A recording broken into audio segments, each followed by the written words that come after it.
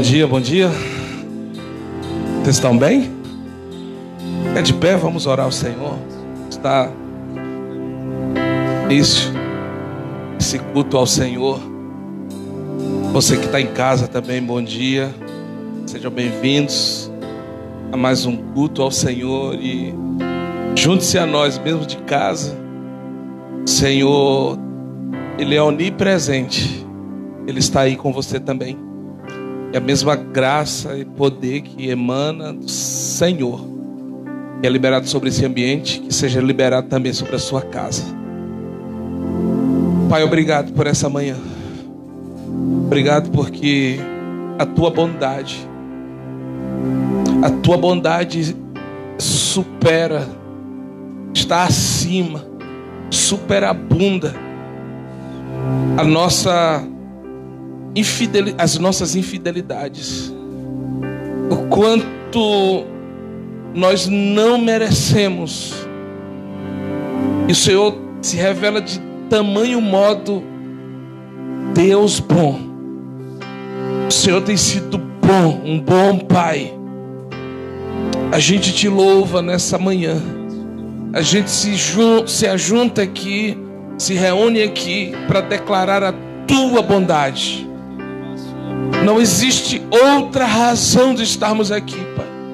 Nós não estamos aqui, Senhor, apenas o ajuntamento pelo ajuntamento. Nós estamos aqui porque no nosso espírito, no nosso espírito, há uma fome e uma sede pela tua presença. Chocalaralabaçoa. Há um desejo no nosso coração, Pai, de te conhecer melhor, de saber quem tu és de maneira mais aprofundada. Assim como Paulo disse, mesmo tendo visto o terceiro céu, eu desejo te conhecer. Nós queremos, mesmo tendo visto, conhecido o que já conhecemos, nós queremos te ver mais. Nós queremos beber mais da tua fonte. Que uma fonte se abra nessa manhã, nesse lugar. E que os sedentos sejam saciados. Que todos que chegaram tristes, desanimados, todos que chegaram aqui angustiados, comecem agora a serem saciados por essa fonte que o Senhor abre nesse lugar. Senhor, começa a jorrar águas vivas sobre o nosso coração. Que do nosso ventre, do nosso interior brote as tuas águas vivas, de dentro para fora, de dentro para fora. Espírito Santo, saiba disso, tudo é teu, esse ambiente é todo teu. Cerca este ambiente com a glória do Pai e que anjos ministradores comecem a ser liberados agora. Que esses anjos comecem a esparramar brasas vivas do teu altar sobre as nossas cabeças. Toca aonde nós precisamos ser tocados nessa manhã. Senhor, que a tua palavra venha como um raio nessa manhã. Que a tua palavra encontre agora o ambiente propício para que, como uma semente, a tua palavra comece a brotar e a produzir muito fruto. E eu profetizo em nome de Jesus que seja a cem por um, a cem por um, a cem por um no teu coração. Espírito Santo, só o Senhor tem a liberdade, qualquer outro espírito bate retirada desse lugar agora. Espírito que não procede de Deus, saia daqui agora solte a mente, solte o coração, solte os olhos, solte o entendimento, solte os ouvidos, e que haja agora uma, uma manifestação, uma convergência do céu com a terra, que seja de cima para baixo, para a glória do teu nome, Pai. Te adoramos nesse lugar, Espírito Santo.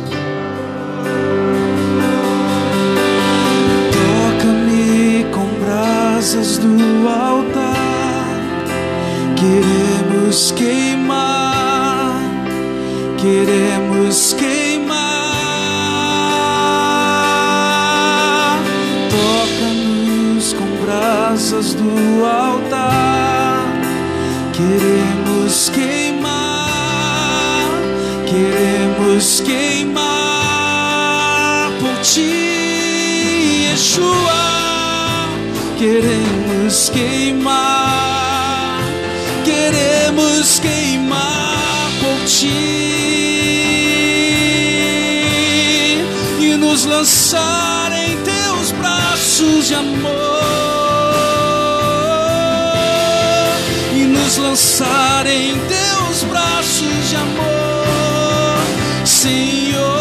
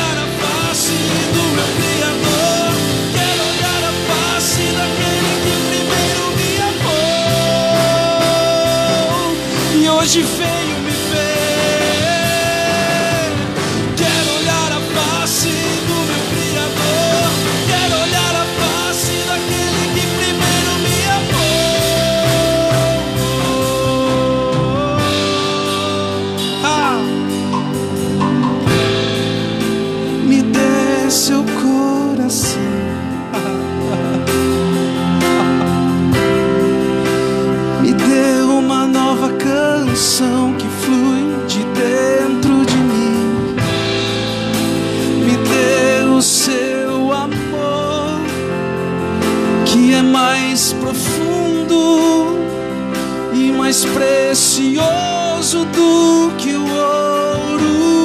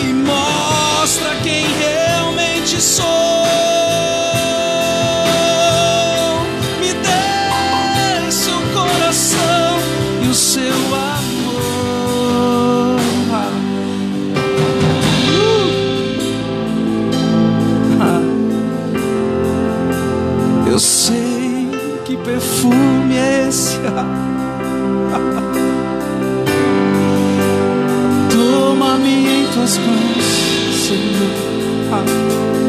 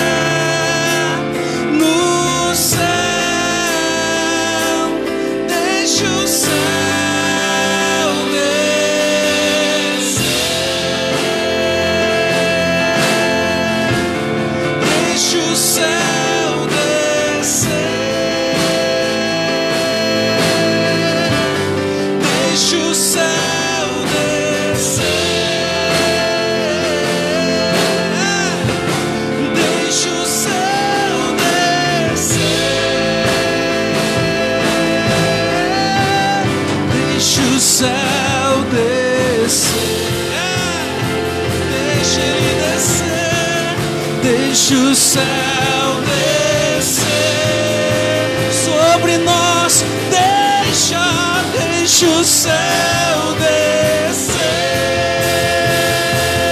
É, deixa o céu descer.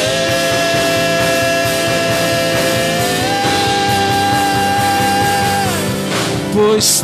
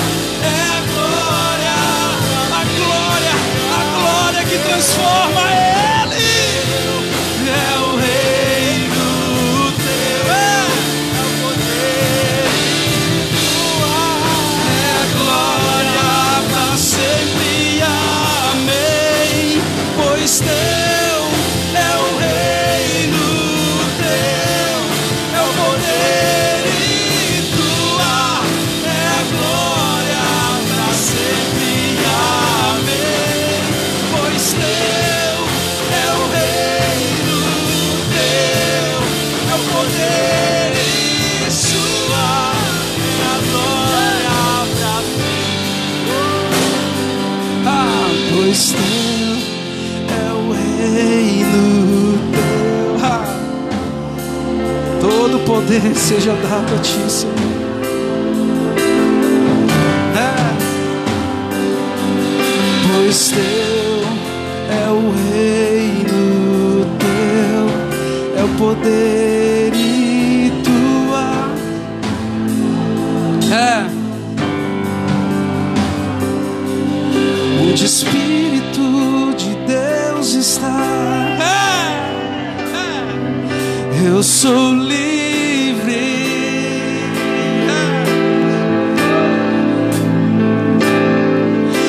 Espírito de Deus está. Somos livres. Seja livre essa manhã, onde o Espírito de Deus está. Somos livres.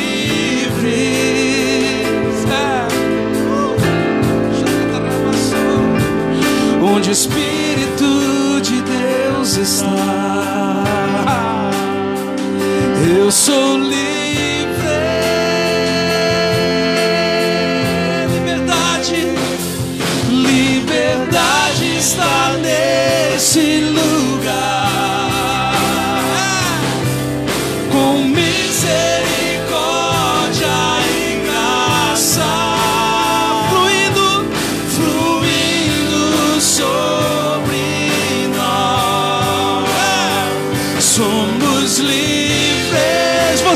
escolha nessa manhã de ser livre. Liberdade está nesse lugar.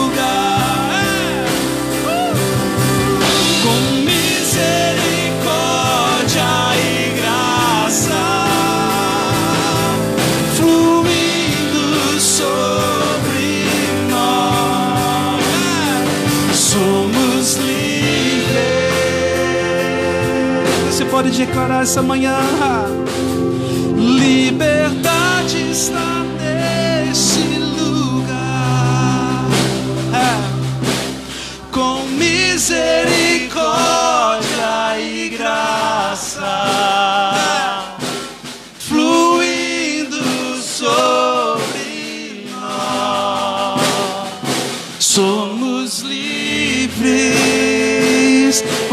Mais forte, mais forte, mais forte.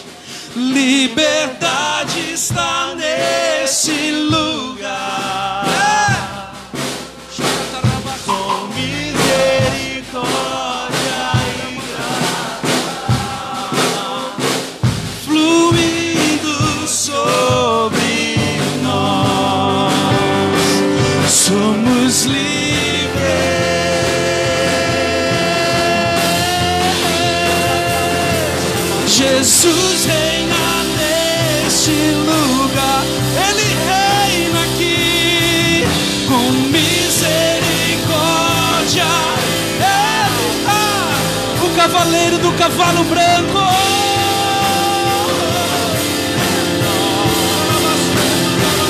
Somos livres.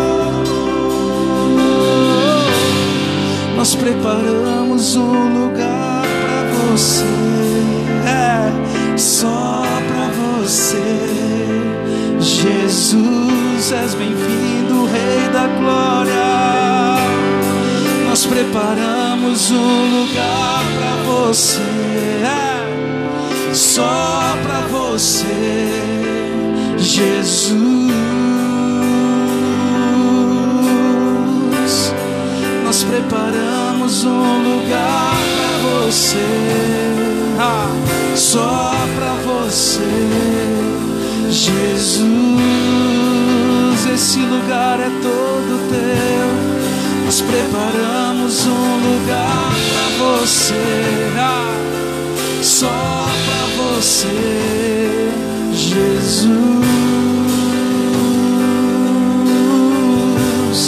Nós preparamos um lugar pra você, é, só pra você, Jesus.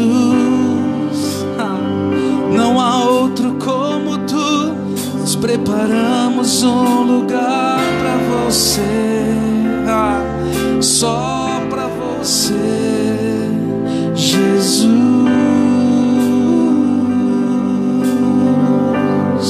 Nós preparamos um lugar para você, ah, só para você, lindo Jesus. Ah.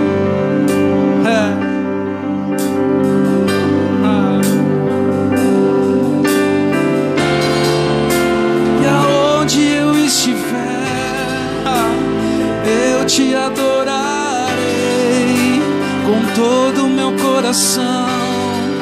Não importa o que vão falar de mim, o que importa é que tu és tudo em mim.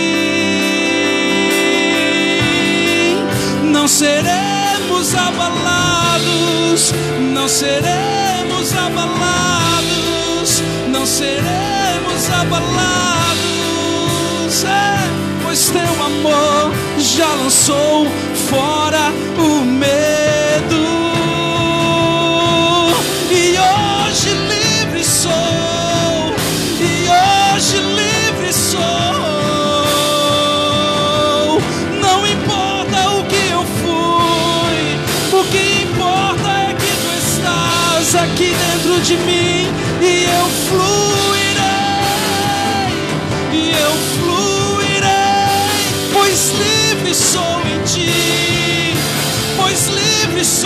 Ti, é, pois livre sou em ti,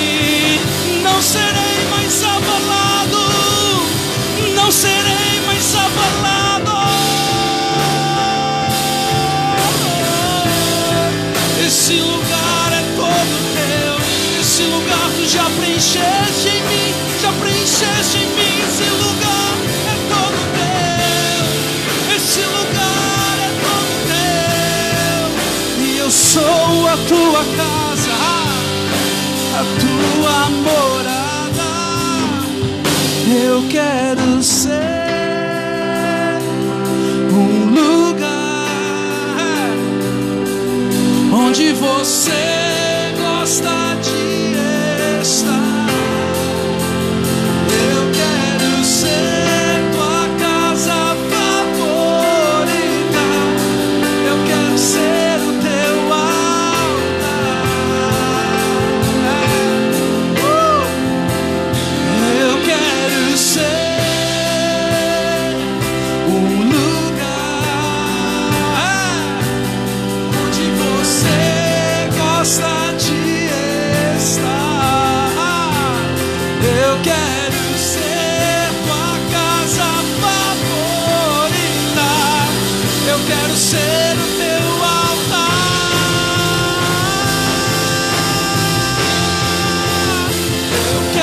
Esse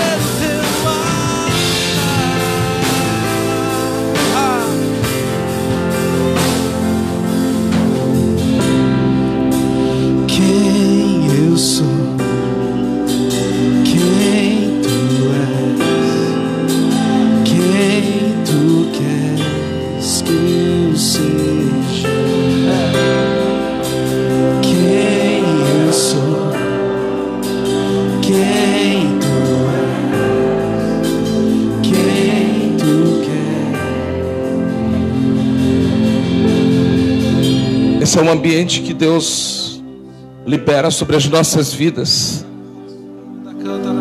Não perca tempo, não se distraia. Aproveita o que Deus está liberando esses dias. Não fique adiando o seu quebrantamento, não adie. Se renda para Deus, se renda diante dEle. Diga a Deus: Eu quero viver tudo que o Senhor está fazendo nesses dias ainda que isso te custe algumas renúncias, na verdade, vão custar algumas renúncias nossas.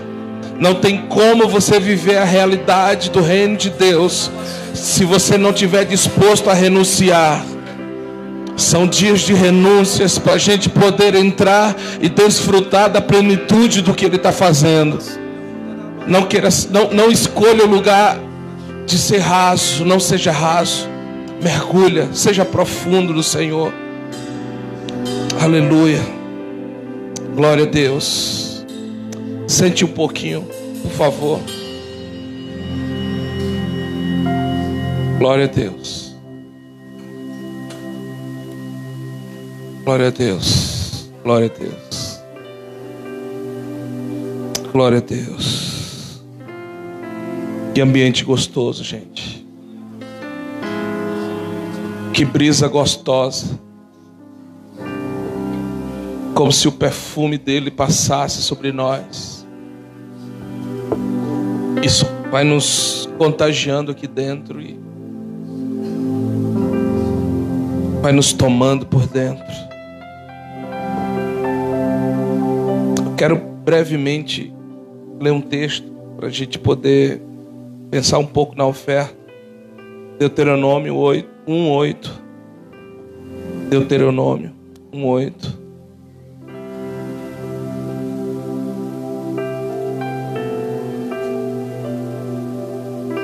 Aleluia.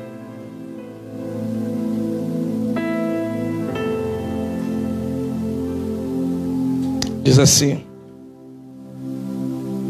Eis que a terra que eu pus diante de vós, eis aqui a terra que eu pus diante de vós. Entrai e possuí a terra que o Senhor com juramento deu a vossos pais, Abraão, Isaac e Jacó, a eles e a sua descendência depois deles. A eles e a sua descendência depois deles. Nós somos o Israel espiritual, todos já sabem disso. Então, tudo que foi dito diz respeito também a nós porque nós nos conectamos a Deus no Espírito. Por isso, eu fiquei pensando que o Senhor disse para o povo fazer esse texto. Ele disse: Olha, vejam que eu pus diante de vocês. Primeiro, ele pede para que as pessoas, para que o povo visualize. Abra os olhos, tenham a visão daquilo que eu estou fazendo para que vocês entrem. O que eu fiz é para vocês. Agora eu preciso que vocês não só vejam, eu preciso que vocês entrem. Observe que Deus Deus deixou tudo pronto. E agora qual que era a participação do povo, além de ver, entrar. Só que se você observar ele não só disse veja e entre, ele disse possua. Porque é possível eu ver, é possível eu entrar e é possível eu não possuir. É possível eu sair do mundo, é possível eu entrar numa igreja e é possível eu não desfrutar daquilo que Deus reservou para gente. Agora, por que, que eu escolhi pensar esse texto para a gente falar um pouquinho sobre oferta? Porque existe um lugar relacionado às finanças que Deus também reservou para nós vivermos. Existe um lugar com relação à nossa vida financeira, à nossa condição financeira, um lugar das provisões do céu que estão preparadas, que estão autorizadas, que são acessíveis, que não são apenas para vermos, que não são apenas para entrarmos, mas que Ele fez para que a gente possua, desfrute, usufrua. Só que é o seguinte: naquela terra tinham inimigos, tinham gente que não era para estar possuindo o que, era, que pertencia ao povo ao seu povo, Deus sabia que ali tinha gente ocupando lugares desfrutando e usufruindo daquilo que era do seu povo. Então Deus está dizendo assim: vejam isso, entrem nisso, agora possuam isso. Só que para que eles pudessem possuir aquilo, eles tinham um trabalho. Porque não era só ver e entrar, era possuir. E para possuir eles tinham um trabalho. Qual era o trabalho? Expulsar os antigos donos. Porque no reino de Deus funciona assim. Para você entrar em lugares de conquistas em você mesmo, a gente precisa saber que antes de a gente entrar em Deus, conhecer a Deus, viver as realidades de Deus nas nossas vidas, haviam antigos donos, haviam anteriores donos que ocupavam lugares em nós. E às vezes a gente se converteu e, e, e existem algumas áreas das nossas vidas que a gente já se rendeu, que a gente já viu, que a gente já entrou, que a gente já possuiu.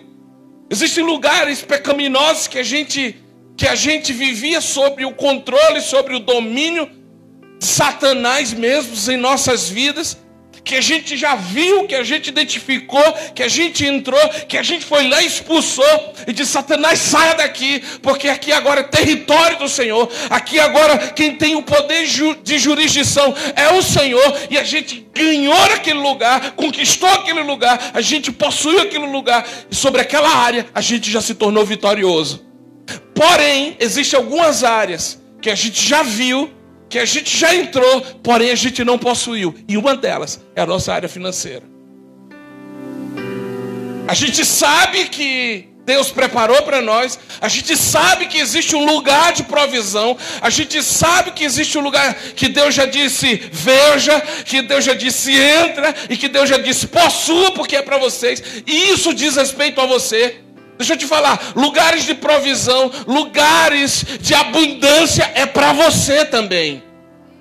Isso diz respeito a você, porque ele diz não só sobre os seus pais, mas toda a descendência depois deles. Então isso diz respeito a mim. Então, financeiramente falando, existe um lugar no Senhor que já está pronto, reservado, porém aqui dentro a gente ainda não conseguiu conquistar. A gente ainda não conseguiu possuir. Por quê? Porque existem antigos donos que ainda sobre aquela jurisdição dominam. Como por exemplo, sabe aquela situação que você sabe que você tem direito, você sabe que Deus deu para você. Você, para mim, essa é uma das piores realidades que a gente pode ter que enfrentar. É você saber de uma coisa que é sua, mas tem alguém com o pé em cima, impedindo de você conquistar, de você possuir. Existe alguém que está ali travando e você diz: puxa, é meu, me pertence, mas eu ainda não consegui possuir. Isso é uma das piores coisas que eu vejo. É igual esse ambiente. Há uma presença de Deus sobre esse lugar. Aqui não é para quem é pastor, líder, que, que entra nesse lugar para desfrutar. Aqui é para todos. Sabe qual que é a pior coisa para mim? É você saber de tudo isso. Você chega num ambiente desse, mas você não consegue usufruir disso. Você parece que tem um bloqueio que não te permite desfrutar disso. É você saber que é seu, mas você não desfruta. Porque somente homens de abundância, homens de liberalidade, conseguem destrancar essas cadeias.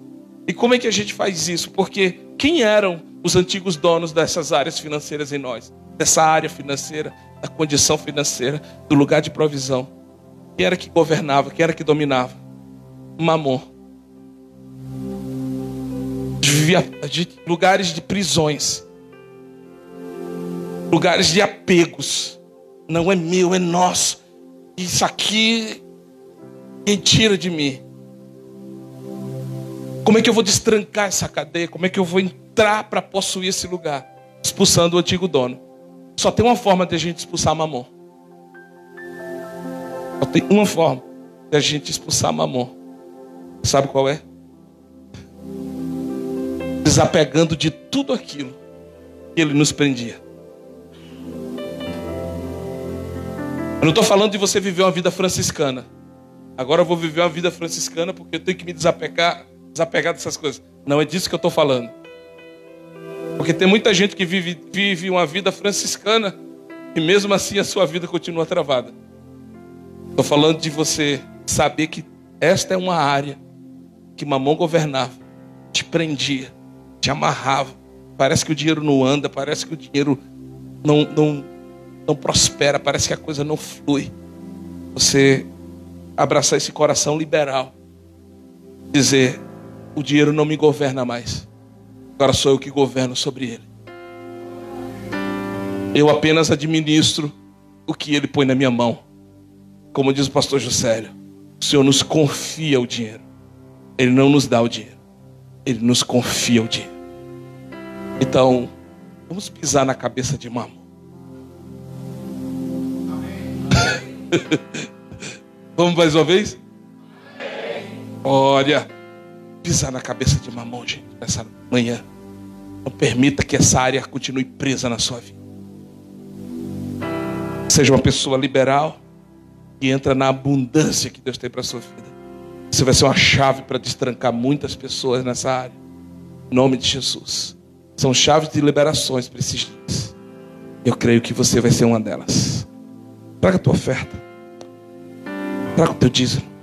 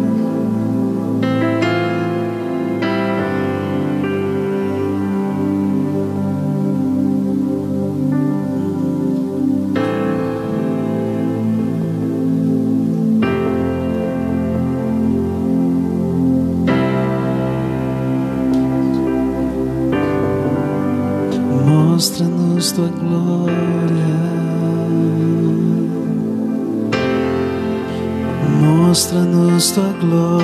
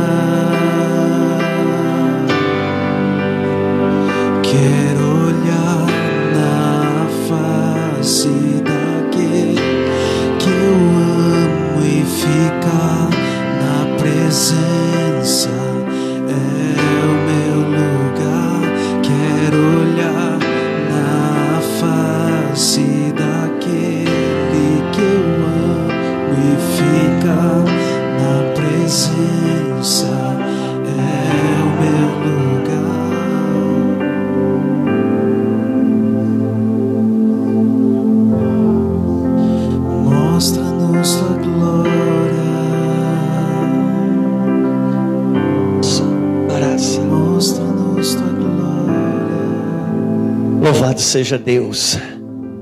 Bendito seja o nosso Senhor e Pai. Nós te damos glória, Senhor. Nosso coração, com uma consciência pura, genuína, invocamos o teu nome, teu Espírito, Senhor. Sabemos que o teu Espírito já foi derramado. Mas o clama-me a mim ainda é uma instrução. E nós clamamos o Senhor nesse lugar. Sim, nós clamamos o teu senhorio aqui. Nós invocamos o teu nome, o Deus Emanuel. Invocamos a tua paz, Senhor. A paz que excede todo entendimento. A paz que dissipa,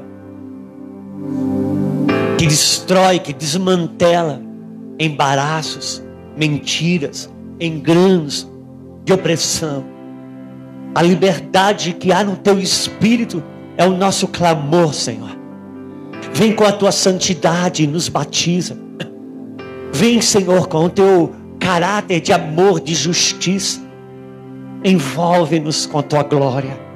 Nós nos abrimos nessa manhã para o teu espírito passear aqui. Visitar, Senhor, a vida de cada um. Visitar nossa história. Cada um de nós, Deus, em nossa realidade. Cada um de nós, Senhor, nos seus dilemas. Cada um de nós na sua construção pessoal. O Senhor é o Deus. O Senhor não é um Deus individual, mas o Senhor é um Deus pessoal. O Senhor nos fez templo. Vem, Pai. Vem, Senhor. Vem, vem com teu amor, vem com tua graça, vem com teu favor. Nós nos humilhamos na tua presença. Nós nos quebrantamos diante de ti. Nós nos rendemos, Senhor. Colocamos todo o endurecimento da nossa serviço, prostrado, quebrantado. Nós, Deus, nós buscamos de alguma maneira que o teu olhar recaia sobre nós. Mais do que uma instrução, mais do que uma informação, o verdadeiro evangelho, Deus conosco. O Emanuel, o Deus conosco. Glória a Jesus. Bom dia, meus queridos, meus amados do Senhor, minhas queridas, muito bom dia. Nós estamos aqui de volta. É, é, sofremos um, um choque bastante forte nesses dias que vivemos. Uh, há uns três, três domingos atrás, isso. Eu apresentei o sintoma de Covid e fui fazer o teste. Estava com, com Covid. E dentro de uma medicação que eu estava tomando, o meu organismo teve um, uma reação diferente. O próprio Covid em si, eu nem, basicamente, eu nem senti, eu sofri com nenhum tipo de questão respiratória, nem dor de cabeça, enfim, nada. Mas eu estava tomando uma medicação e, e ela gerou alguma coisa no meu corpo, no meu organismo, alterou todo o meu sistema de, de, de central. Eu vivi uns três dias bastante difícil, bastante complicado, foi bem difícil mesmo. Até que a minha Lulu, sempre ela, ela teve uma luz. Juscelio, pode estar tá tomando aquela medicação que você está tomando, pode estar tá tendo uma reação, pode ser isso. Daí eu parei imediatamente e ali comecei um processo de melhora imediatamente. Mas, mano, foi três dias só, foi de três para quatro dias, e nós estivemos lá, na, conhecendo onde o Jonas passou, lá no ventre do peixe, lá no fundo. Você não sabe o que é pior, né? Se é a tempestade, porque o Jonas, antes de mergulhar no peixe, antes de ser engolido pelo peixe, ele teve uma grande tempestade. Só que na tempestade, ele estava vivendo um fruto de uma, uma desobediência. No fundo do peixe, ele estava dentro de um processo de Deus de recálculo de rota. E foi muito interessante viver essa semana, porque é, viver o Evangelho do jeito que, que eu acredito, e me vi vulnerável, me vi frágil, precisei de amigos, precisei de pessoas. Como, como o nosso Deus pode trabalhar em nossas vidas, nos colocar nos lugares de proteção. E aquela palavra que diz que quando sou fraco é que sou forte, quando o poder de Deus se aperfeiçoa na minha fraqueza, na sua fraqueza, eu pude, eu pude apalpar aquilo. Teve um, um terceiro para o quarto dia assim, eu olhei para Lulu e disse, se não desliga de dentro do meu corpo, uma coisa involuntária. Ela disse, Juscelio, te acalma. Eu digo, mas meu problema é eu não estou nervoso. Eu não estou assim porque eu estou nervoso, eu estou nervoso porque eu estou assim. Porque eu sabia que era uma coisa que, que, que não vinha de mim. E foi muito interessante como testemunho. Eu estava conversando com a família preciosa aqui sobre isso.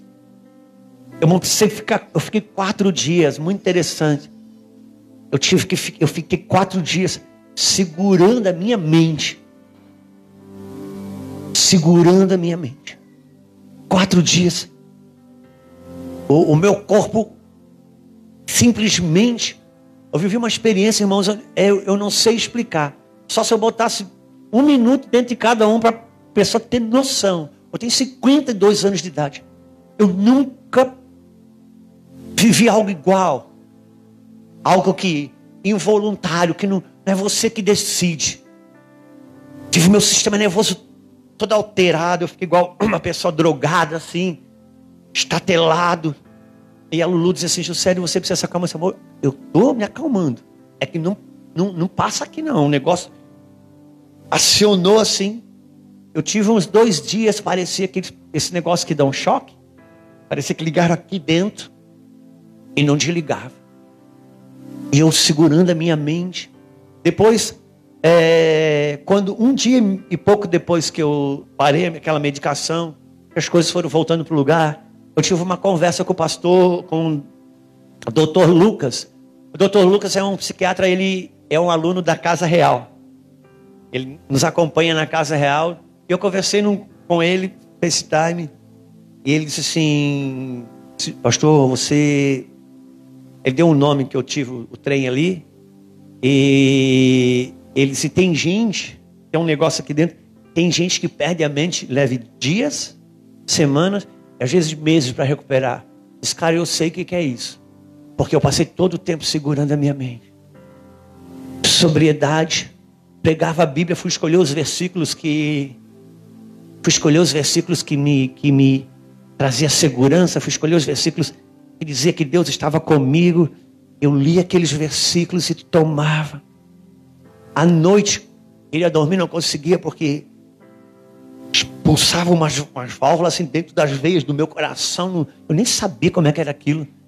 Eu tomava a minha mente, no meu espírito. Que experiência é, é interessante. Aquilo foi diminuindo, foi diminuindo. Botou num processo de tomar água e tal, tal, tal, para desintoxicar o meu organismo. Mas naqueles dias me via tão frágil, tão vulnerável. Eu queria você ali perto de mim. Eu queria você orando por mim. Eu queria. Meus amigos me ligavam, como é que tá? Eu não estou bom não, gente. Tô, eu estou precisando. Ah, segura a mão aí comigo e ora. E depois vive aquela fragilidade. E é tão interessante, porque você sai do outro lado você aponta menos o dedo. Você fica mais misericordioso. Você valoriza mais o problema do outro. Você é, considera mais a dor do outro. Você fica mais vulnerável. Você fica mais frágil. E quando estou fraco, porque na minha fraqueza o poder de Deus vai se aperfeiçoar. E foi tão interessante, porque é interessante. Eu queria explicar algumas coisas, mas eu não consigo. Como você tem uma mente espiritual e você tem um organismo, um lugar que você mora, você habita nesse corpo eu vi o, conflito assim entre céu e inferno, entre terra e, e céu. E a palavra de Deus. Eu fiz, eu fiz igual criança, eu fui, eu fui para a escola dominical, irmão. Eu fui para a escola dominical. Eu li a Bíblia. Tem alguns salmos que nunca mais vai ser o mesmo para mim. Tem alguns salmos que nunca mais vai ser o mesmo. O Salmo 27, se eu leio, eu ainda choro. Nunca mais vai ser o mesmo. Eu estive com Davi naqueles lugares que ele diz assim: Senhor, tormentas me cercam. Tormentas me cercam. por todos os lados. Os inimigos blasfemam contra mim. Só que Davi está falando de pessoas. Só que ali no espírito não fala de pessoas. Por quê? Porque eu e você nós não lutamos contra carne nem sangue. E não adianta, meu irmão, isso eu falei muitas vezes, ministrei muitas vezes e, e volto a ministrar. Porque uma coisa é você ministrar, outra coisa é a palavra te ministrar. Uma coisa é você falar sobre demônios, outra coisa é você lutar contra os demônios, uma coisa é você pregar a verdade, outra coisa é a verdade te desafiar a acreditar nela. Como disse o, o meu apóstolo, uma coisa é você ter a verdade. Porque você pode ter uma verdade. Qual que é a questão de hoje em dia? Você tem a sua verdade, eu tenho a minha. Você tem a sua verdade, eu tenho a minha. E se eu tenho uma verdade, você pode ser a sua e se não for a mesma, nós vamos ter que respeitar e ponto final. Mas uma coisa é você ter a verdade, outra coisa é quando a verdade é que te tem. Quando a verdade é que te tem, você não tem uma defesa teológica, você é uma expressão de algo que te possui. Você é uma expressão de algo que te possui. Por isso que está escrito em João que Jesus Cristo, ele veio para os seus, mas os seus não receberam. Mas tanto os quantos o receberam, deu-nos o poder de se tornarem filhos de Deus. Então você vai se tornando filho de Deus na medida que você recebe. Tantos quantos receberam. Não é quantos estudou, não é quantos pesquisaram, não é quantos é, é, se formaram dentro de uma instrução, não. É quantos receberam, como já, já colocamos aqui na mesa. E eu volto a repetir: uma verdade ensinada é algo que você sabe, uma verdade recebida é algo que você tem. E eu pude experimentar, como preguei algumas vezes, mas experimentei na força do meu corpo e com plenitude tão forte que você pode saber muitas coisas, mas quando você passa pelo estreito, você não vive do que sabe, você vive daquilo que você tem. Você vive daquilo que você tem. Você vive daquilo que realmente o pendrive passou para o outro lado. Você vive realmente daquilo que o download desceu dentro de você. É quando a verdade te possui. Jesus não possuiu a verdade, a verdade de Deus o possuía. Ele já era uma expressão daquela verdade. Foram dias incríveis. E está sendo ainda. Está sendo. Porque ele causou impulsos de memórias assim. Eu disse, uau, Deus. Nós vamos viver todos os processos a ser vividos. E foi tão interessante porque meus amigos, principalmente meus amigos da mesa da Missão Sudeste, pastor Wagner, pastor Luiz Paulo, pastor Everaldo de, de, de, de, de, Brasília, o, o, apóstolo Cristiano, o pastor é, Feitosa, pastor Márcio, os pastores da mesa. E o Jean, teve umas duas noites que o Jean pegava na minha mão me levar lá, lá para. A gente tem um, um bosquezinho ali. Tá igual criança dele carregado assim na mão dele. Aí ele fala, chegava escondido de mim disse, pastora. Você cuida dele, Jean. Ah, que lindo. Um dia você é pastor da pessoa, outro dia a pessoa está pegando a sua mão, está cuidando de você. Por que estou te falando isso? Que a gente não, a gente não congrega para ter um clube, irmão.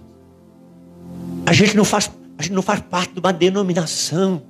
Não é um clube, não é eu dizer eu congrego ali no Mevan, não é dizer, olha, o, o, o meu nome está no cadastro. Não, é uma realidade de corpo. A gente quando vem aqui, porque é uma conexão no espírito, o corpo místico do Senhor, sabe? Você não pode entrar na família de Deus. Você não pode, ninguém pode entrar na família de Deus. Você pode entrar numa igreja. Você pode, agora eu faço parte de tal igreja, mas só tem um jeito de você entrar na família. Como que você entrou na sua família? Você nasceu nela. Por isso que necessário vos é nascer de Você não entra numa família de Deus, você nasce dentro dela. E quando você nasce dentro dela, você é pertencente, porque assim como por um homem o pecado entrou no mundo e o corpo do pecado é um germe que habita em nós, por um homem entrou a cura, entrou a salvação. E agora nesse corpo de Cristo ressurreto, o dia que Jesus ressuscitou, um mais do que um corpo físico, um corpo espiritual nasceu. E nesse corpo, inserido nesse corpo, temos a vida do cabeça e vamos crescendo em unidade e em amor. E nesse processo, chorando com os que choram, e nesses processos, se alegrando com os que se alegram, vamos crescendo em unidade, em amor, vamos crescendo em unidade, em cura, porque você pode ser um membro cortado. Se você cortar um, um dedo, no outro momento, você vai olhar aquele dedo, ele não tem um arranhão, ele não tem uma enfermidade, ele não tem nada. Mas ele vai morrer, porque ele se separou do corpo. Agora você já vê uma pessoa com um acidente, ela pode estar toda desmantelada. Quando tem coisa pendurada, tem uma veia de sangue que corre, ali ainda tem restauração. Por quê? Porque ela não perdeu contato com o corpo. Sabe por que, que a gente nasce e a gente troca o cálice um do outro? Sabe por que, que na ceia a gente tem o hábito de trocar o cálice? Por um motivo. Porque o sangue corre no corpo. Você é protegido. Você é guardado. Como eu me senti amado nesses dias. Como eu me senti guardado nesses dias. Os irmãos é, é, que, que, que participam da casa real. Mandando mensagem, pastor, você também, porque eu ministrei uma live debaixo de febre. Eu tava, eu fiquei quatro dias, na, na questão do Covid mesmo, eu fiquei é, dois dias e meio, o corpo febril, aquela coisa ruim, de uma gripe pesada. E dentro dessa condição, que foi na segunda, na, segunda, na terça-feira da semana retrasada, lá naquela condição, eu eu ministrei a live da, da mentoria da Casa Real debaixo de febre. Aí, quando chegou na outra terça, a da semana passada, eu, aí eu não ministrei. Disse, eu vou me poupar. Vou guardar. E os irmãos me ligando, me mandando. É mensagem. Pastor, estamos orando por você. Estamos orando pela sua vida. Então, obrigado você que esteve orando por mim. Continue orando. Continue nos cobrindo. Porque eu disse, eu vou, eu vou me poupar. Porque nós temos que saber os momentos. E nós não estamos numa corrida de 100 metros. Nós estamos numa maratona. Por saber se comportar dentro dela. Dentro da maratona tem os seus momentos. Eu sempre insisto em dizer: a corrida de 100 metros a sua chegada depende de como você larga. Se você largar bem, você vai chegar bem. Na maratona, não. Uma maratona, irmãos, não, não é só a saída que decide. É como você se mantém nela em todos os percursos para chegar. E uma coisa que eu sempre falo, não tenho medo de repetir. Uma corrida de 100 metros, você compete com o outro. Uma corrida de 100 metros, você larga para vencer quem está disputando com você. Numa maratona, não. O cara chega em 39, chega naquela como se ele estivesse disputando o primeiro lugar. E quando ele chega, ele não pergunta para ninguém quantos chegaram na frente. Ele dá uma olhada no relógio dele para ver se ele se venceu, se ele melhorou o seu tempo, se ele melhorou a sua performance, porque a sua jornada em Deus você não disputa com o outro, na sua jornada em Deus você disputa contra você mesmo, é você se vencendo nos seus momentos mais difíceis, porque, porque Deus estabeleceu assim, não fui eu que gerei assim. Cada pressão que você suporta, cada estreito que você resiste, cada, cada momento que mesmo na sua fragilidade, você não negocia o seu valor, você não abre espaço passo para o, para o recuo. Do outro lado, não sei como acontece. Quando você acha que vai morrer, tem uma ressurreição que abre e você está mais forte do outro lado. Você está mais empenhado do outro lado. Você não sabe explicar. Tem uma graça que entrou em você, te dando mais convicção do Deus que você serve, de que Ele está contigo. Porque quando passares pelo fogo, não te queimarás. E quando passares pela água, ela não te submergerá. Não é assim você passar. Ele diz que você vai chegar um momento, você vai passar. E eu não vou te livrar da água. Eu não vou te livrar do fogo. Eu vou estar com você na água. Eu vou estar com você no fogo. Porque eu sou Deus, Emanuel. Eu sou Deus conosco. É Deus comigo na situação. Eu preciso entender uma coisa. Você e eu servimos um Deus que ele desceu, ele veio no corpo, ele veio sofrer a traição que você sofre, ele veio sofrer a enfermidade que você sofre, ele veio estar junto. E ele se estabeleceu um caminho de vencer aquilo que seria o ponto mais alto do universo da queda, que é a morte. Por isso que a nossa maior esperança ainda é a ressurreição dentre os mortos. Porque quando nós acessarmos essa realidade da ressurreição dentre os mortos, meu Deus, tudo que vivemos nesse corpo vai ser tão mínimo. Tudo que vivemos nesse corpo vai ser tão pequeno. Tudo que vivemos aqui vai ser tão pequeno.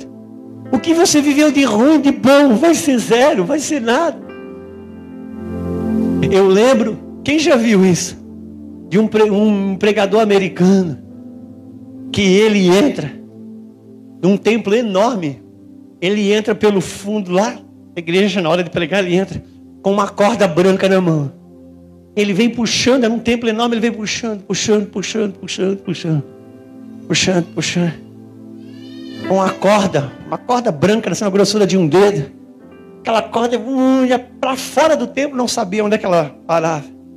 E na ponta tem uns três dedos assim, um tanto assim, pintado de vermelho.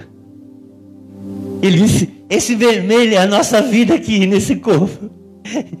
E tudo essa corda e a eternidade que nos aguarda. E a gente está brigando por esse pedacinho aqui. A gente está guerreando por esse pedacinho aqui. Toda a nossa concentração está aqui guerreando por um milímetro. Uma coisa que desse tamanho. E tudo uma eternidade nos esperando. E tudo que eu preciso nesse tempo não é brigar, não é guerrear, é vencer as demandas dele. Porque aqui eu garanto toda uma eternidade que me espera.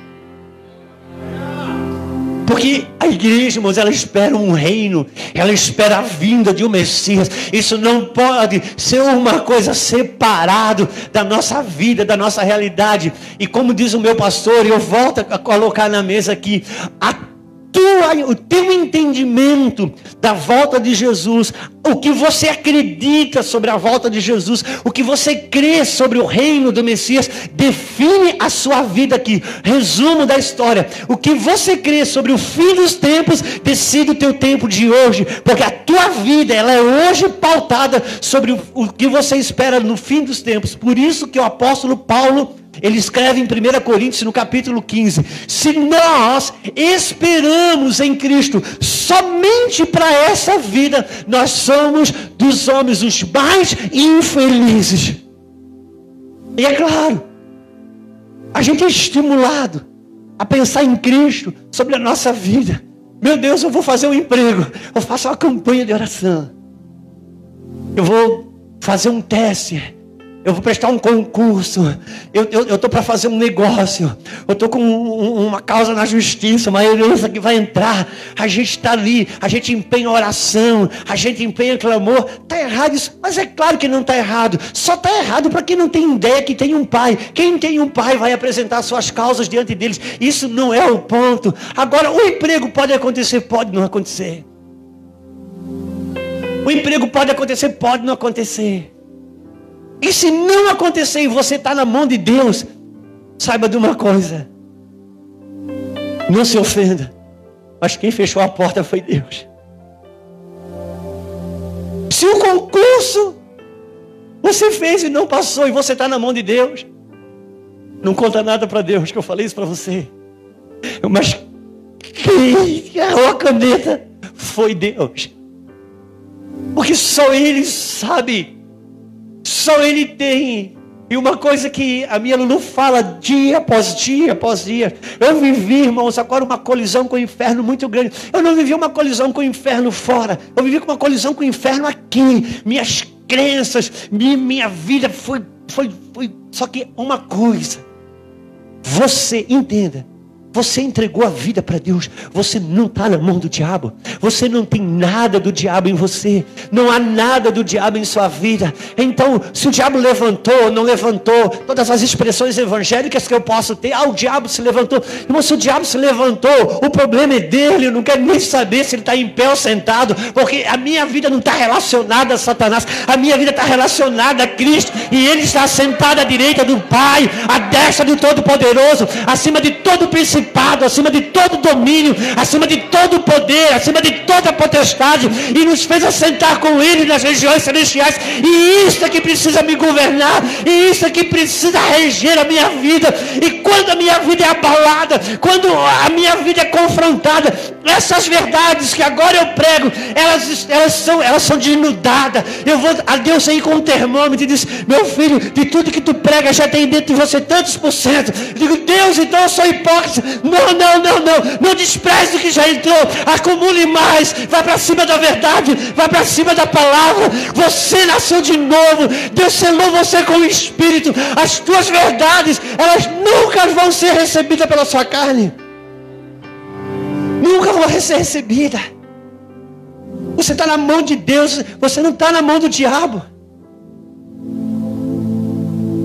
Quantos lembram? Eu já falei até outro dia aqui de um, quando ele pensou em tirar os dias de férias, crente ultra, super, mega pentecostal, disse: É, é Juscelio. O diabo não tira férias. Ele então fica você com o diabo, porque eu não tenho a minha vida referenciada no diabo, não. O cara está estudando se o diabo tira férias. Se o diabo tirar férias, ele vai tirar. Se o diabo não tira, ele não vai tirar. A, a vida dele está pautada em quem, irmão? Quem é que pauta a tua vida? Ao diabo não tira férias esse irmão tá bom. Se a sua referência de vida, se a sua régua de vida é o diabo, ah! não. O meu pai trabalha até agora e eu também. Vim de mãe vai estar cansado, sobrecarregado, porque acharei deixa. Porque o problema não é o trabalho. O problema é não ter o descanso dentro do que você faz. Isso não é trabalho. E não foi, não, foi, não foi o diabo que inventou o trabalho, não. O diabo inventou a preguiça. Satanás inventou a preguiça.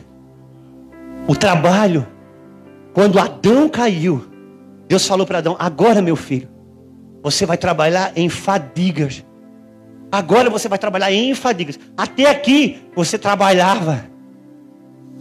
Só que você tinha desfrute no que você fazia. Havia um descanso inserido no que você fazia. Agora você vai ter fadiga. Então o pecado ele trouxe a fadiga, ele não trouxe o trabalho. E quantos lembram? Quando Jesus suspirou o último suspiro na cruz, o véu foi rasgado. E agora Jesus estava dizendo: o véu agora está rasgado.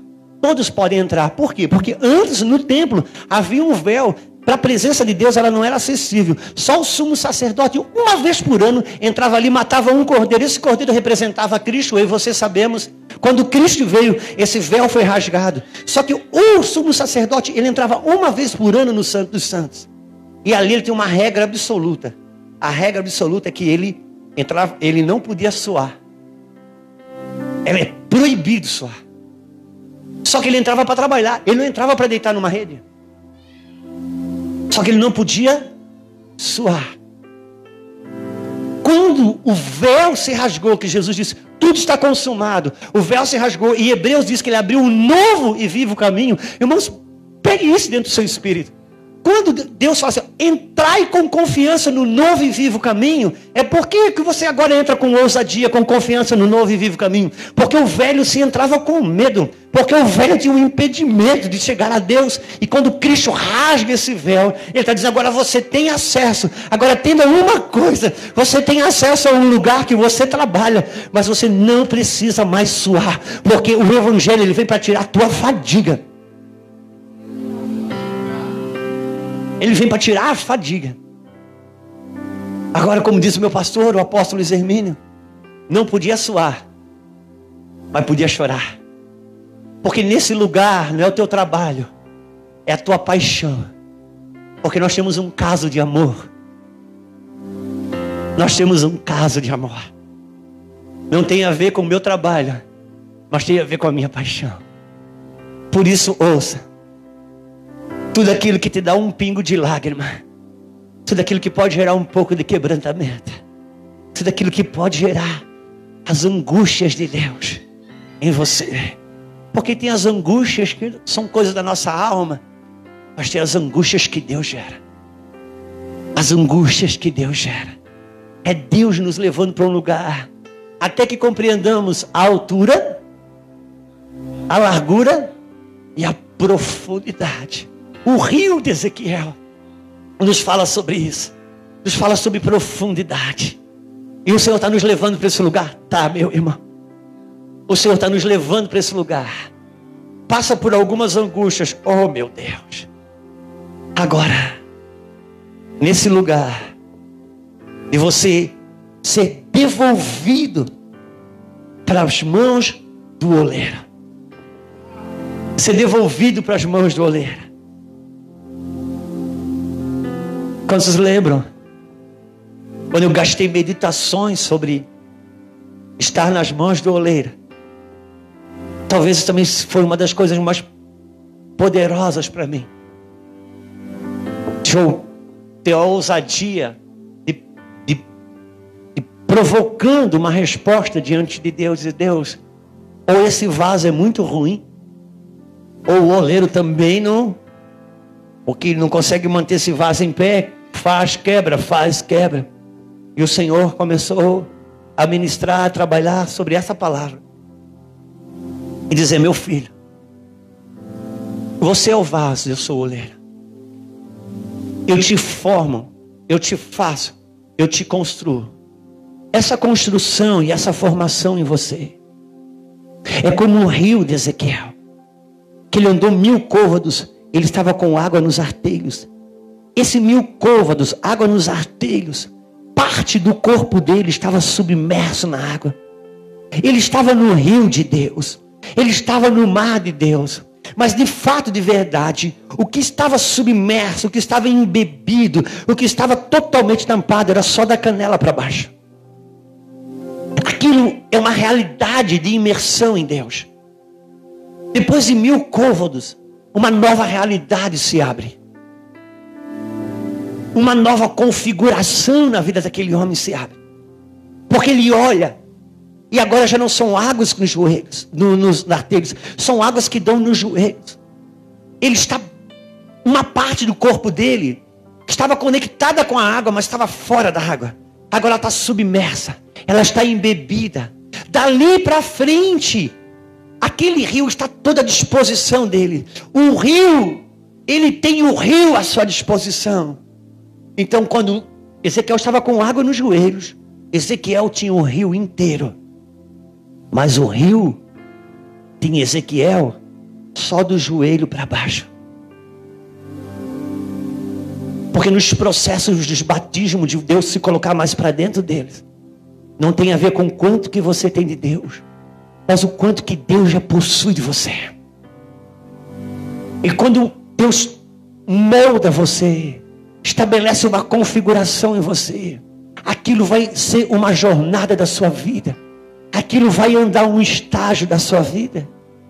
E quando esse ciclo se, se funde, quando esse ciclo fecha, quando ele encerra, o Senhor, abre uma nova estação, uma nova medida interna. Isso vai afetar realidades externas, vai. Tem gente que muda de casa, tem gente que muda de cidade, muda de amigos, muda de realidades. São às vezes gera impactos externos, às vezes acontece de você dentro da sua própria casa brota uma situação onde você faz uma reforma nela, você às vezes amplia um quarto, você, você não tem nem noção que é Deus manifestando no físico coisas que Ele está ampliando dentro do seu espírito e dentro dessa nova realidade. Você em algum momento, ela normalmente ela é precedida, antevém momentos difíceis, momentos onde você é espremido. Na verdade, é o, é o próprio Deus quebrando o vaso, destruindo o vaso. E nesse momento, o sentimento de final de ciclo, aquele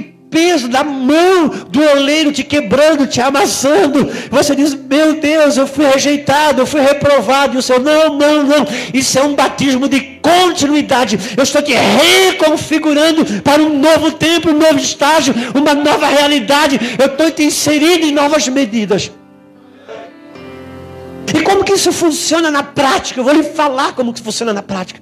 Dentro dessas novas medidas. Você se vê numa capacidade que você não tinha antes. Você se vê em coisas que eram pesadas para você e agora já não são. Você se vê numa medida de compaixão, de misericórdia maior. Você se vê numa medida de segurança maior. É um favor de Deus que vem, é uma graça de Deus que sopra sobre a sua vida. E essa graça é tentadora. Deixa eu colocar isso dentro do seu espírito. Essa graça é tentadora. Sabe por que ela é tentadora? Deixa eu lhe dizer, meu irmão. Deus, Ele tem um movimento de humildade tão grande, tão grande, tão grande, que Ele transfere essa graça para você, Ismael.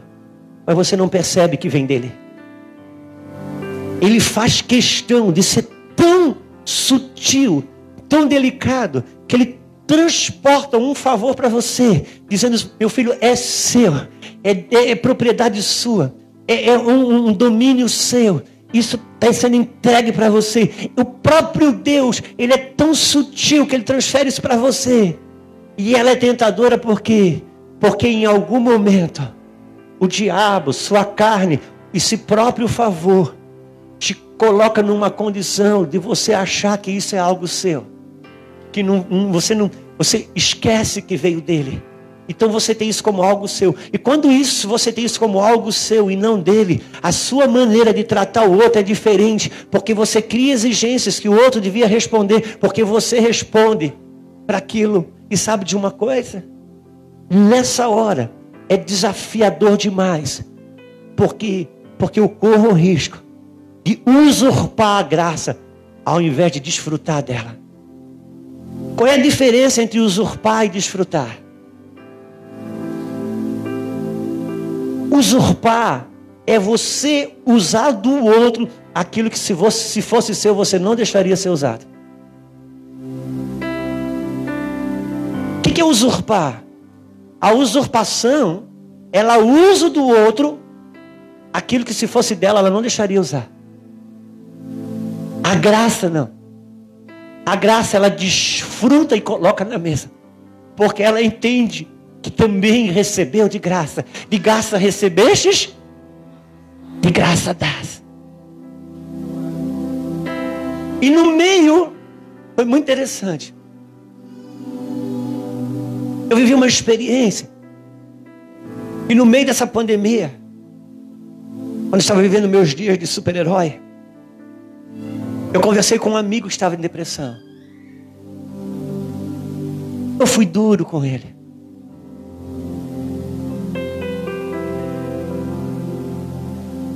Eu, eu não fui duro no sentido da aspereza, mas ele estava tão debilitado que um pouquinho de sinceridade que eu usei, eu machuquei o coração dele. No momento que eu vivi aqueles três dias, aquela conversa vinha na minha cabeça toda hora. Toda hora. Por quê? Porque em algum momento eu esqueci que era uma graça, que ela não era minha. Os favores de Deus Sabe o pecado que você, a tentação que você vence? É uma graça. Sabe o perdão que você consegue dar? É uma graça. Sabe a luz que você tem que o seu marido não tem? É uma graça. Sabe a oração que você consegue fazer que o outro não consegue? É uma graça. É uma graça de Deus. E a graça ela me convida para uma soberba. A graça ela me convida até mesmo quando você ajuda o outro. Sabe uma coisa que eu percebi já há muitos anos? Pessoas na igreja que elas são muito dispostas na área social, de ajudar o morador de rua, de ajudar o, o, a pessoa que está lá no viaduto, de ajudar o necessitado. É muito interessante. Às vezes, as pessoas têm uma disposição assim, que você diz, meu Deus, essa pessoa vive o verdadeiro evangelho. Mas ela mesmo no seio da igreja, ela não consegue submeter, honrar um irmão, honrar uma liderança. E porque eu, eu pergunto, meu Deus, por que aquele evangelho é tão lindo e poderoso lá, mas não consegue ser aqui?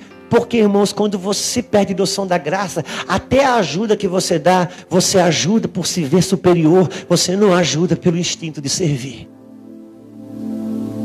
Sabe, aquele, aquele para-brisa que você baixa e você dá aquele dinheiro se aquela ajuda te coloca numa condição de, de, ser, de ser melhor.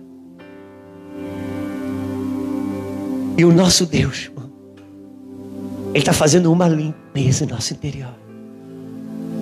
Porque Ele nunca vai desistir de mim e de você.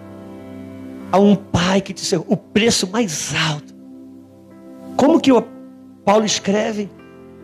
Se Deus não nos negou o seu próprio filho, como não nos dará juntamente com ele todas as coisas? Ou seja, o preço mais alto foi entregue agora. Um pai que olha para mim, que olha para você. Não, o preço foi muito alto, agora não vou desistir de você. Não vai ser seu capricho, sua birra, não vai ser sua teimosia, porque se isso há em você, não há em mim, diz o Senhor, eu vou atrás de você, como nós ministramos dentro da casa real sobre a lepra do orgulho, que não é uma coisa que Deus queira me punir, é uma coisa que Deus queira me libertar, porque o orgulho já me pune por si só. Porque ele me afasta e me torna truculenta a relação com as pessoas que eu mais amo com as pessoas que eu mais amo. E o Senhor está num processo, irmãos. Ele está num processo de limpeza em nossas vidas. Ele está num processo de restauração em nossas vidas. Um aperfeiçoamento. Por quê? Por causa dos dias que estão chegando. Por causa dos dias que estão chegando. Dias de frieza. Dias de endurecimento. E deixa eu lhe dizer, meu irmão a sensibilidade do Espírito, você não vai perder. Eu quero profetizar na sua vida. A sensibilidade do Espírito. A sensibilidade do Espírito. Eu não estou dizendo a fragilidade do Espírito. Eu estou falando a sensibilidade do Espírito. Porque o Espírito é sensível, mas ele é forte. Tal qual uma mãe. Tal qual uma mãe. A mãe é sensível para um filho, mas ela é forte. Ela é forte. A mãe, ela é tão forte que é uma interessante, que até na questão física, com relação ao filho, é interessante. Se tem que trocar um bujão de gás, a esposa chama o marido.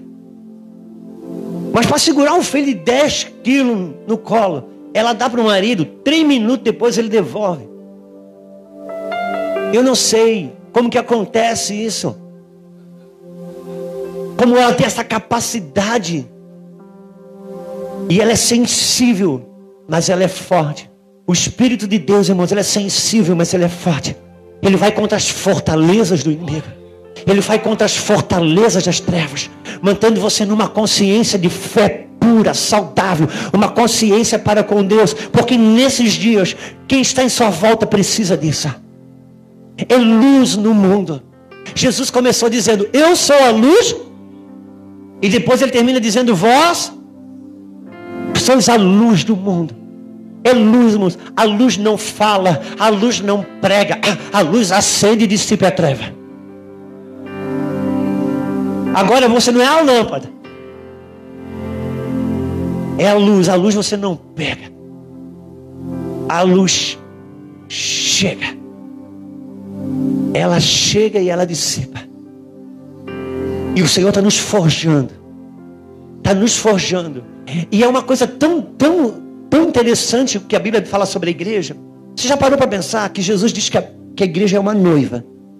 E quando você pensa em noiva, você vai pensar sobre 2 Coríntios ou 1 Coríntios capítulo 10, que Paulo vai dizer: Eu vos tenho preparado como uma virgem pura ao Senhor.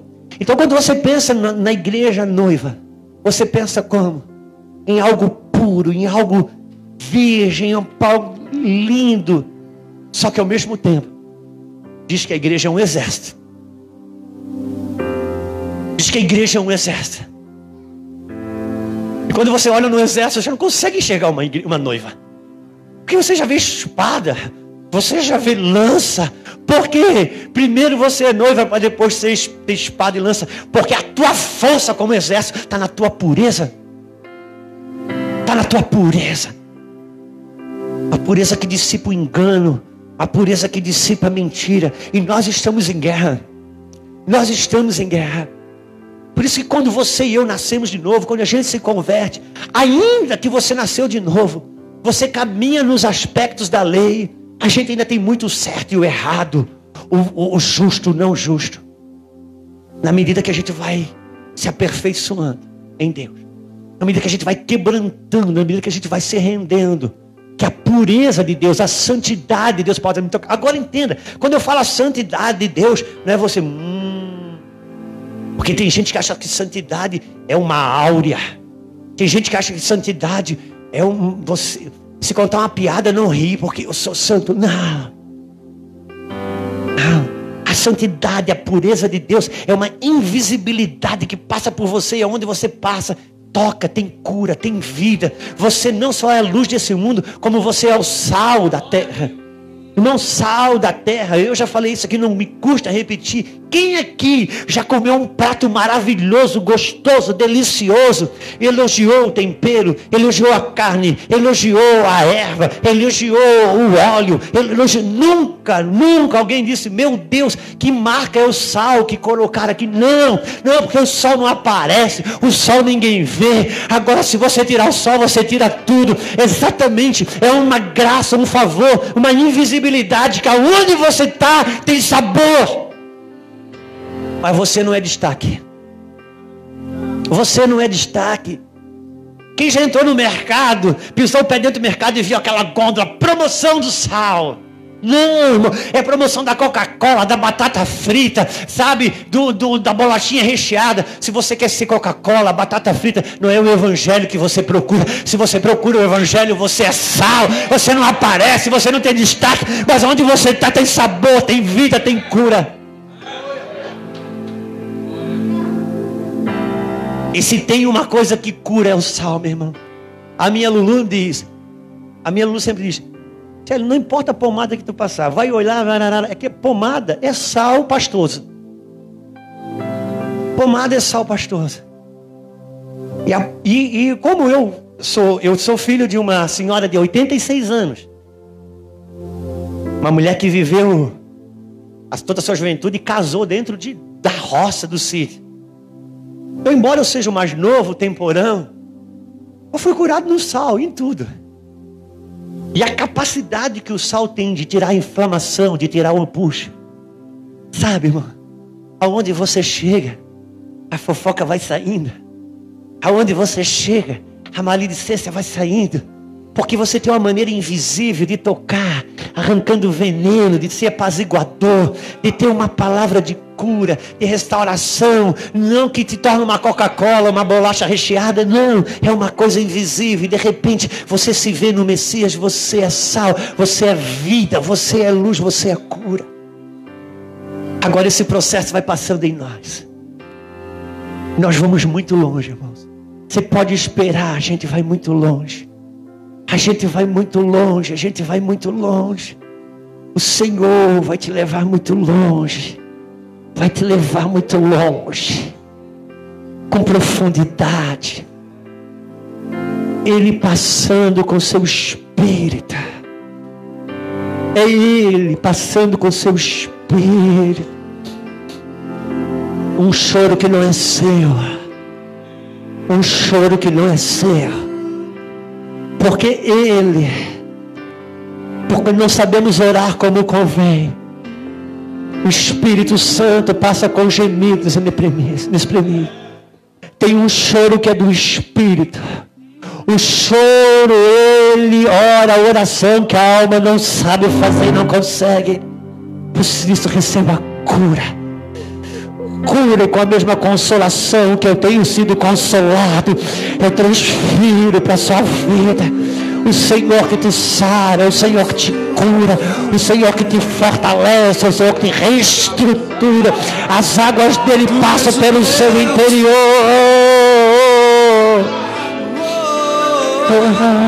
Tu és o Deus fiel. Sim. Chora la basura na robiacaçó. Emanuel.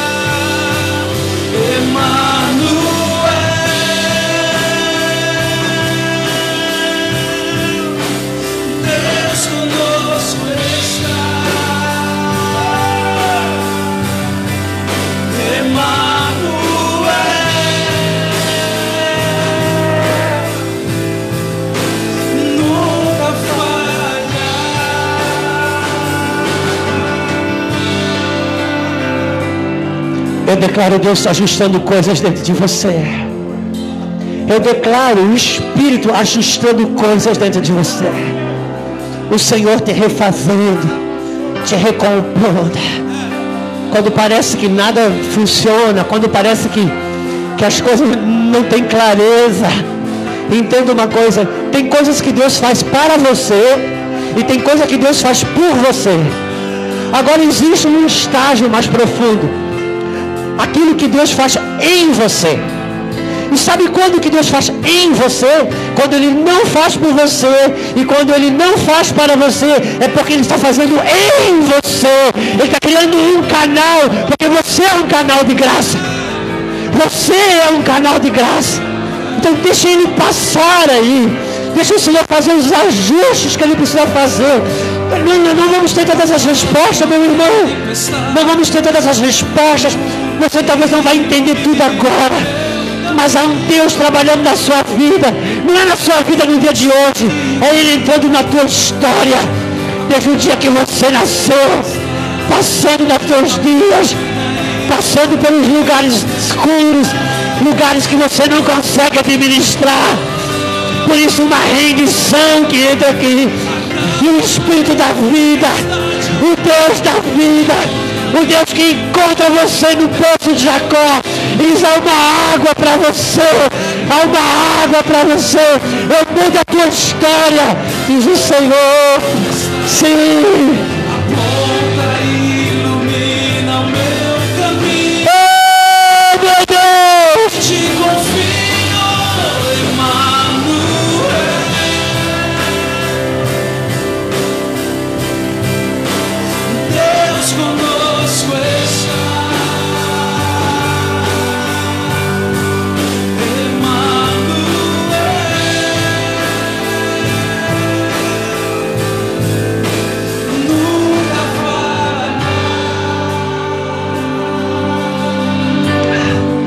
Senhor está indo atrás de pessoas aqui. O Senhor está indo atrás de pessoas aqui. Está indo atrás de pessoas, está reestruturando. Ele colocando coisas no lugar. Ele colocando coisas no lugar. Ele vindo na sua tempestade. Sim, o teu pai te dando a conhecer numa medida que você não sabia. Deus, Deus vindo luz. Em nome do Senhor Jesus. Não são letras, não são ensino. É o teu Pai atrás de você. É o Senhor que te sara, o Senhor que te cura, o Senhor que te restaura e começa a trazer sentido. Por isso eu quero declarar em nome do Senhor Jesus, de verdade, eu quero declarar notícias começarão a chegar na sua porta. Situações que começam a abrir o caminho, trazer luz. Agora, por favor, não esquece que é o Senhor, o teu Deus, o teu Senhor, que jamais permitirá que você escape da mão dele. Jamais. É Ele indo atrás de você.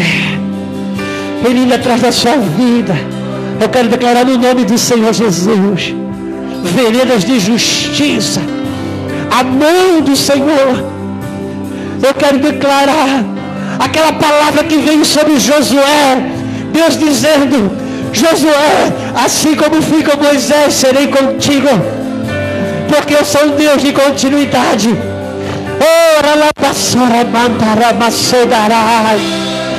Deus presente.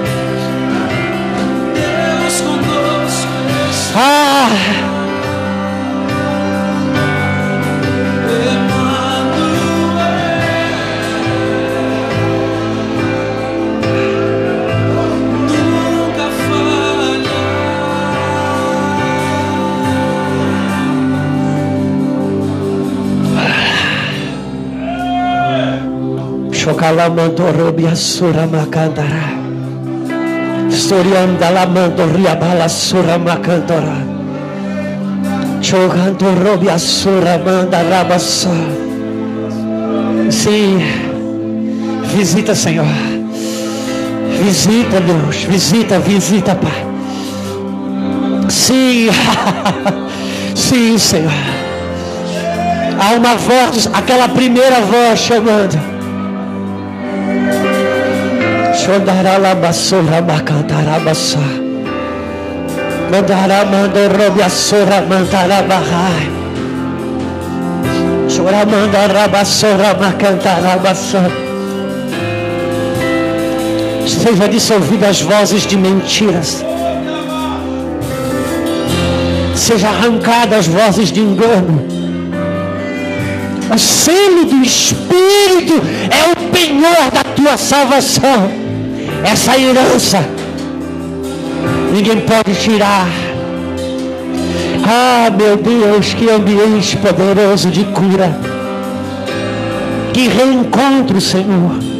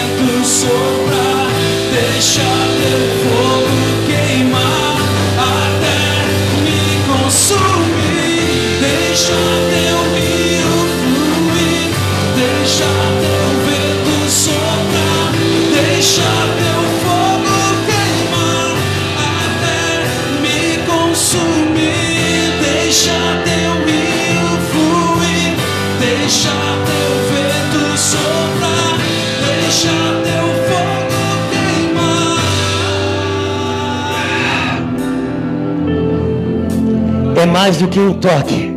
Eu preciso passar o que está dentro do meu espírito. É mais do que um toque. Essa manhã não se trata de um toque. Se trata de Deus indo dentro da sua história. Dentro da sua linhagem.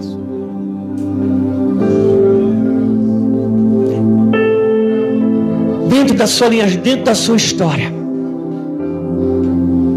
É que sei os pensamentos que tenho sobre vós, diz o Senhor. Pensamentos de paz e não de mal. Para dar o fim que desejais. Ele está dizendo que o fim que você deseja está na mão dele. Só que eu é que sei os pensamentos que tenho sobre vós. Ou seja, agora pode ser que nesse momento seja difícil de você compreender. Mas se você se submete ao meu espírito, eu sei o que, os desejos, desejos que estão no teu coração, que o próprio Senhor colocou, porque a Bíblia diz que dele é o querer e dele é o efetuar.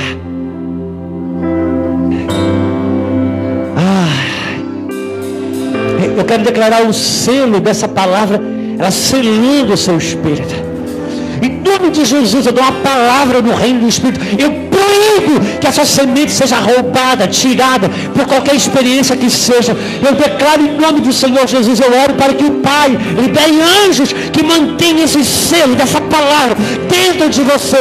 Essa semente divina que trabalha dentro de você. Essa semente divina que germina, ela trabalha. Eu sempre, sempre me vem à cabeça um sorrisal.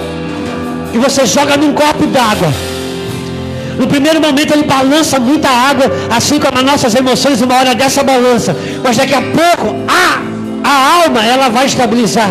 Só que o sorrisal começa ali. Shh, trabalhando dentro do teu espírito. Enquanto você dorme, trabalhando dentro do teu espírito. Enviando mensagens. Ah, meu Deus. Fica de pé um pouquinho, vamos orar ao Senhor, vamos orar. Vamos orar ao Senhor.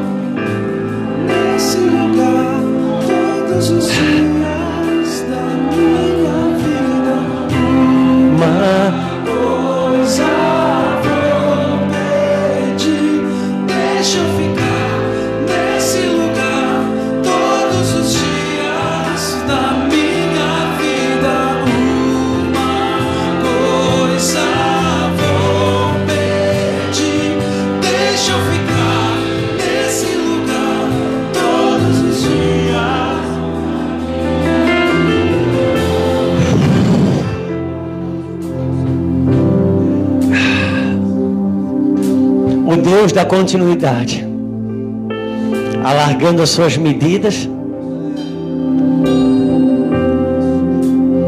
E ele trabalha assim.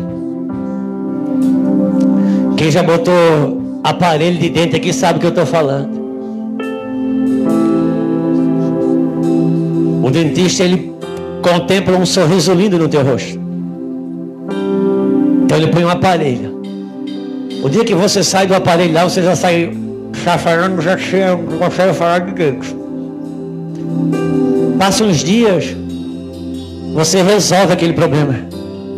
Você adapta, você já ficou bom. Já come, já fala, não enrola mais a língua. Aí a mensagem do dentista chega e diz, vem cá que nós precisamos conversar.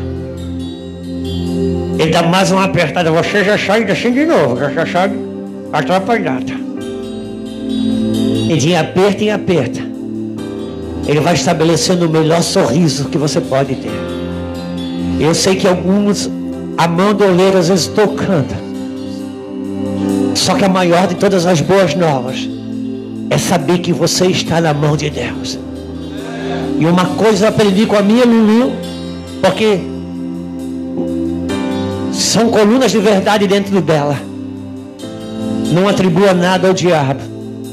Você está na mão de Deus. Você jejua para o Senhor. Você ora para o Senhor. Você se consagra para o Senhor. A Bíblia que você lê é a palavra do Senhor. Pastor, mas as curvas que eu não consigo fazer em volta e meia eu derrapo. Por isso, filhinhos, digo isso para que não pequeis. Mas se pecardes, tendes um advogado, o justo. O problema é quando a gente contrata o advogado para pecar. Não, se pecardes, tendes um advogado. Porque o sacrifício de Jesus Cristo, irmão, ele cobriu a mim e a você. Ele cobriu a mim e a você.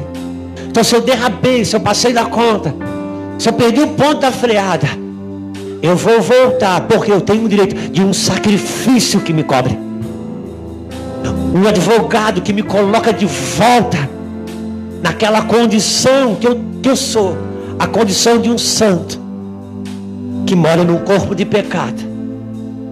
Mas há uma semente divina e eu e você vamos trabalhar e viver por ela. Amém? Que você, que você possa guardar essa palavra no teu coração. Que essa palavra possa ir contigo dentro do teu espírito. Porque a palavra de Deus ela é viva e eficaz mais penetrante que uma palavra de dois gumes, e ela penetra juntas e medulas, a alma e o espírito. Ninguém consegue ir nesse lugar, só ele vai lá naquela profundidade. Ele vai aonde o remédio não vai, ele vai aonde o instrumento não vai. É ele que põe lá dentro e ele separa dentro de você aquilo que é do aquilo que não é. Por isso, ó sacerdote, ó você sacerdotisa, Está escrito, escrito está, que na boca do sacerdote precisa ter instrução que separe o precioso do vil. E separar o precioso do vil. Só o Espírito e a palavra, meu irmão. Só o Espírito e a palavra. Só a luz e a verdade de Deus é que pode fazer. Não abra mão disso. Não abra mão de você crer nas Escrituras mesmo que quando o teu próprio corpo gritar, ainda é ela que te governa. Em dias maus, em dias difíceis, o Senhor está fazendo você resposta. Não adianta, meu irmão, é uma graça que passa sobre você. Deus chamou, Deus selou. Você é um canal de justiça. Você é um canal de graça. Isso não tem a ver com quanto que você é bom ou não é bom. É Deus que estabeleceu. Por isso que não é o quanto que eu faço para Deus, é o quanto que eu me rendo acreditando que é Ele que faz. É Ele, passa por você. Meu Deus, eu quero acabar, não consigo. A Bíblia diz o seguinte: que Ele é poderoso para fazer mais além daquilo que pedimos ou pensamos, pelo poder que opera em nós. Isso passa em nós. E Ele colocou isso dentro de um vaso de barro, para que ninguém se glorie entendendo que você é um vaso de barro. Deus colocou um tesouro aí dentro. Teu bom dia. Deus põe, Deus põe um gem dentro do teu bom dia e aquilo chega do outro lado e o dia é bom. Deus, Deus fez passar isso por você.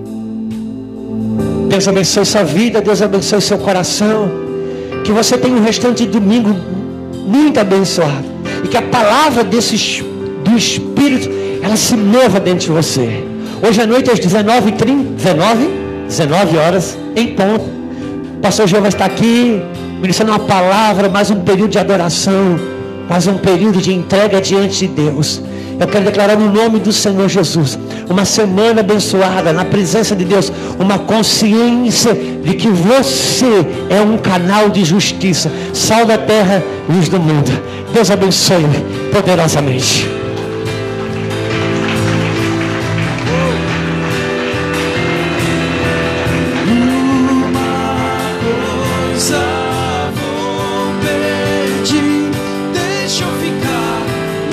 Antes de todos saírem,